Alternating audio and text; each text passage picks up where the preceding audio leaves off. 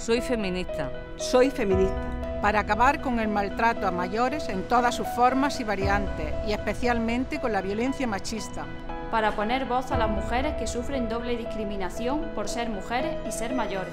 Para que nuestras mayores tengan acceso a una vivienda digna en condiciones de accesibilidad. Porque las personas mayores tienen derecho a disfrutar de su ocio sin imposiciones.